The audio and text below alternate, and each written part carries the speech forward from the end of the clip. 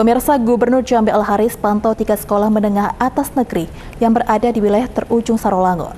Dalam lawatannya, Gubernur ingin melihat langsung dari dekat kondisi sarana dan prasarana di sekolah.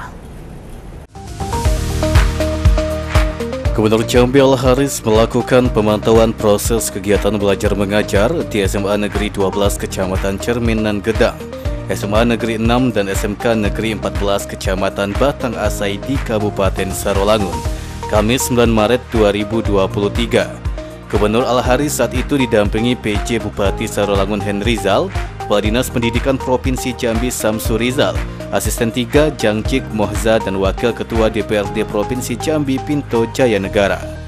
Gubernur Al-Haris mengatakan, pemantauan kegiatan belajar dan mengajar ini sengaja dilakukan untuk mengetahui langsung kondisi sekolah yang berada di daerah paling ujung Sarolangun tersebut. Gubernur Al-Haris juga mengungkapkan, kondisi guru yang mengajar di SMA saat ini banyak yang guru kontrak honorer sehingga perlu untuk ikut P3K supaya perkembangan sumber daya manusia semakin baik.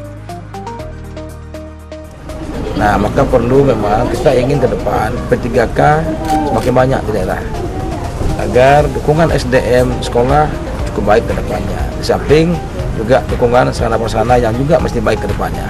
Nah dua hal ini mesti sejalan. Sarananya juga baik, SDM juga baik. Itu yang kita harapkan. Pokoknya kita di sini kita ingin ada motivasi untuk guru dan juga seluruh siswa di sekolah ya. Pada kesempatan tersebut, Gubernur Al-Haris juga mengupayakan fasilitas internet untuk masuk dalam sekolah. Rian Chen Chen, Cek TV melaporkan.